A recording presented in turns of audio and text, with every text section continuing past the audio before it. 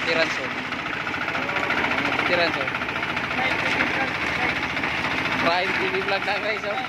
Oh. Now, oh.